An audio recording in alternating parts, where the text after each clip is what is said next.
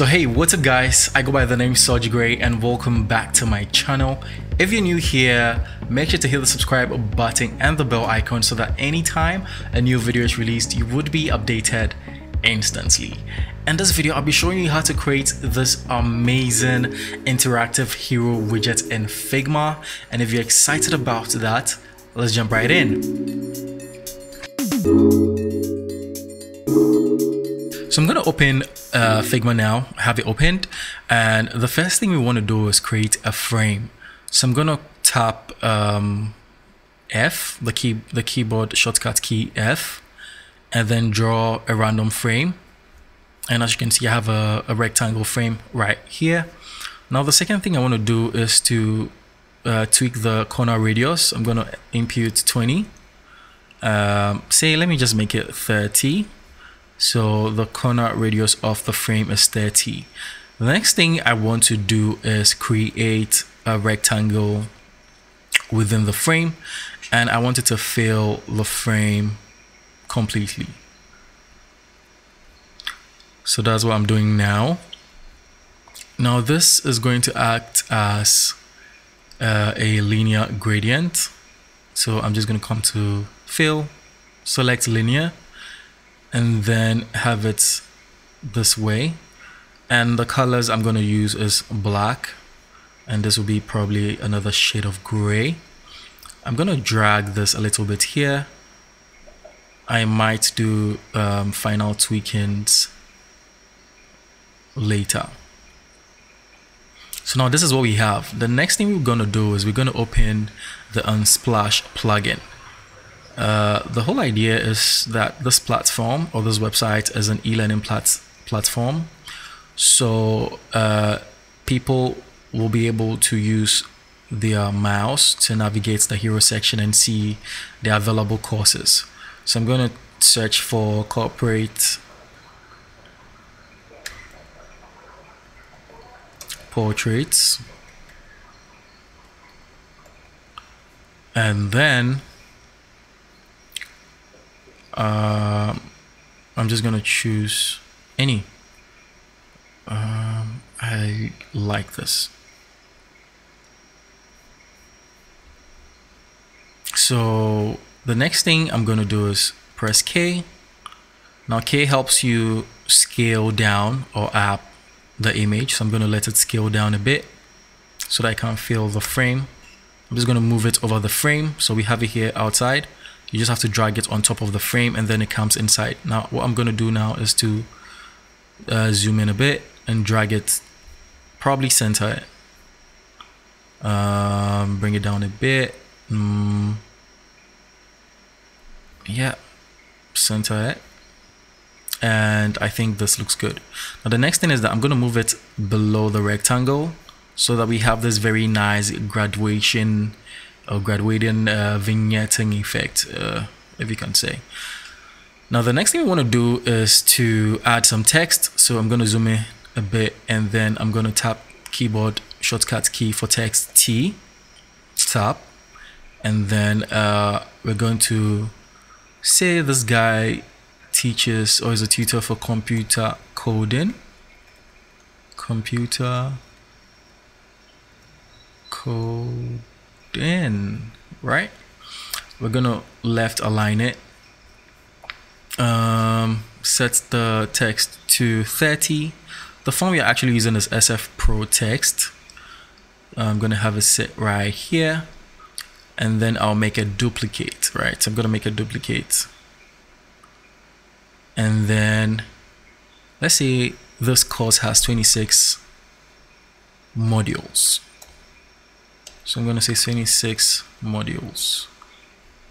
Um, still, I can even make this a little bit smaller. Yes, I can. So we'll have it set this way. And then I can scale it up. And, and then have it sit on the other side. Like so. So this has to be left aligned in terms of constraints and then center.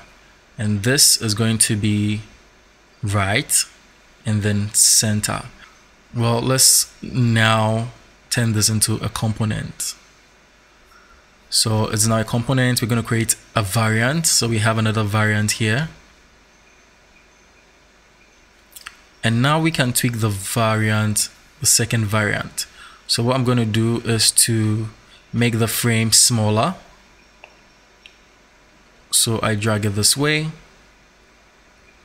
Even before I do that, I'm going to select the modules text.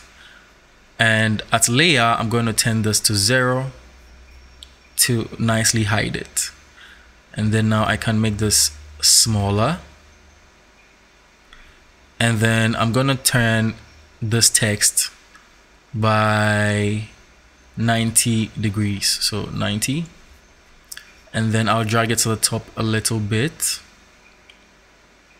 and then I'll center it so uh, these are our two variants for needed for what we want to do. Now the next thing I'd want to do is to tweak the text a bit. So this is the, sorry, tweak the image a bit because we want to have like a zoom effect, right? So once you hover the mouse over this, it transitions to this, but at the same time, it has to be like a, like a zoom, a zoom in effect a little bit. So I'm going to make this a little bit smaller and have it sit this way. Right. Probably center it. Yeah, so this is what we have. So now what we want to do now, since we have our components, is to, you know, create different assets from uh, our components that has two variants. So I'm going to drag this. So option, sorry. I'm going to select the first variant and option drag. So we have this here. Now what we want to do next, let me zoom in a bit. What we want to do next is to click Shift A. Now what Shift A does is that it creates or adds auto layout to the card. Now I'm going to select the frame on the left, click frame 2, Command C and Command V. I'll press that one last time to have four cards. Um, I'm going to come back to the frame and then I'll adjust the spacing between them a bit. Mm, I think this works. Now, because we've added auto layout to this, it means that in case I change this variant to uh, the second version, we're still going to maintain the spacing. It's going to be consistent. And that's why I love to use uh, auto layout. So now I'm going to tap this and revert back to the default uh, variant.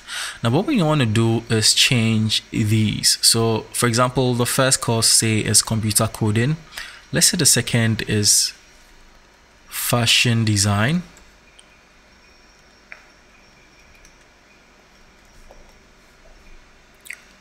Uh, the third is um, hmm, what's it gonna be?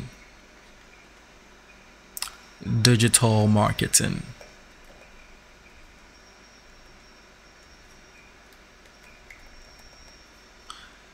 And then the last one will be um, social media strategy. Right. And then let's just change the module. So this has 26 modules. Let's say this has 42 modules digital marketing has 99 modules and social media strategy has 73 modules so there we have a course name and then the number of modules. So now what we want to do next is to change the imagery.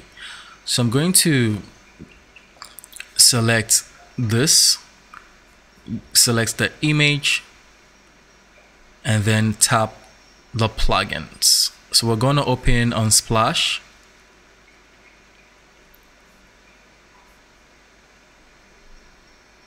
Type corporate portraits.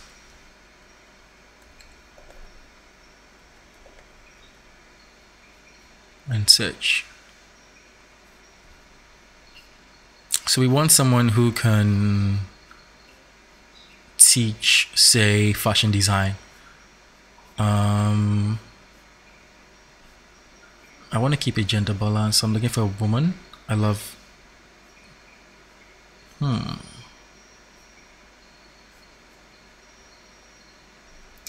Let me add woman to it to see whether I can come up with some options. Hmm.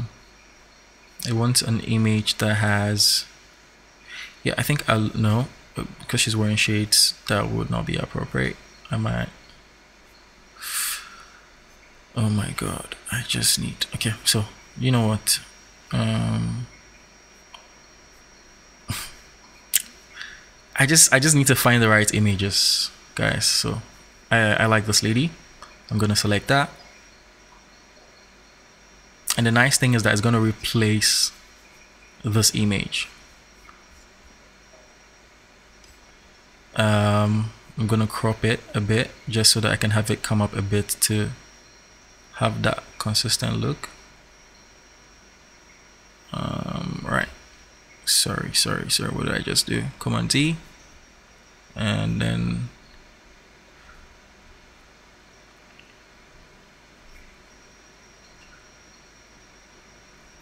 have it set this way. So as you can see, we just replace the image. Everything else stays the same. Uh, we're going to repeat the same process. Click this um, frame, unsplash, and then we're going to open unsplash. And, you know, portraits for somebody who teaches digital marketing. Mm, I think this is my guy. This is the guy I want. And I think on second thought, I think I would I would have to skip him. I want something with um you know a bit of headroom, so I'm gonna select this guy. Yep, and as you can see, it fits kind of perfectly. And then let me select the last one. Click the unsplash file and then let's get the last image social media strategy I just need something with a bit more headroom I will choose this lady yep now I can close the Unsplash plugin and I'm going to select this and make it big a bit but to do that I just need to click crop up here and then have it you know, come up a bit. And then I think it's good. The last one, select the splash file, click crop, and then drag it up a bit. And so far, I think it looks good. So the next thing we want to do is we're going to go to prototype. So I'm going to come to the right side and tap prototype we're going to select this and if I let's select this first and say that anytime this comes to this it should be while so let's we're going to select sorry mouse enter so anytime mouse enters here it's going to transition to this and the animation is going to be smart animate everything else remains the same so then we're going to tap this and say once this comes to this, uh, it's going to smart animate as well, but when mouse leave, so mouse leave, it transitions back to this. So that is what we have. So with this prototype done, let's see if our prototype is going to work. I'm going to tap this and convert come to design, sorry, and convert them to the second variant. So as you can see, it automatically switches. Let me just zoom in a bit. Figma is just so exciting, guys. Everything aligns perfectly well. Um, I like the fact that with, you know, this setup, you don't have to create a lot of instances. You just have to create one component, two variants, and that is all you need. So this is what we have now. I'm going to create a frame just so that we can try and prototype this and see if it works. And then I'm going to select frame and drag it in here. I'm going to center it. Click it and I'm going to click prototype. So it's loading up now and I'm just curious to see how it is going to turn out.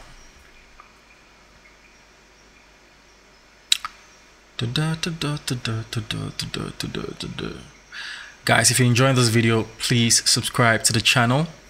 Um, it's loading up now, and then let's drag. Let's let's let the mouse enter into say this one. Let's see what happens. So this is what happens. Love it. This is what happens. Love it. So it's kind of working. I'm gonna copy this and move it into page one and paste it. And now we're going to drag this frame into this hero section just to demonstrate what we have designed. So I'm going to drag it over here and click K and then make it a little bit smaller. Then I can click V, um,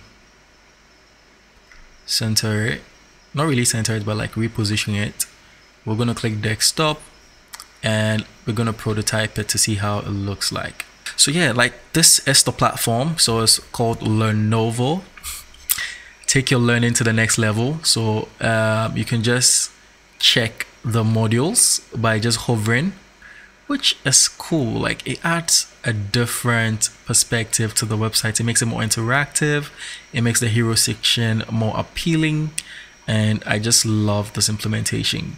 So that is that guys. The exciting thing is that I'm going to leave this um, file, this Figma file in the Figma community. So if you're watching this video, go down to the description section. You're going to find the link there. You can copy it and tweak it as you see fit or as you, you know, you tweak it to how you'd want to tweak it. And I hope you found this tutorial helpful. Um, this is my second tutorial. I'm trying to be better at this thing because it's not easy.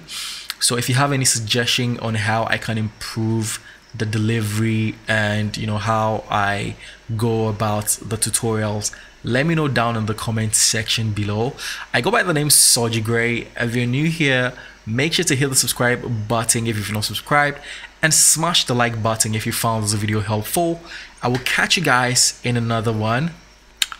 Peace out.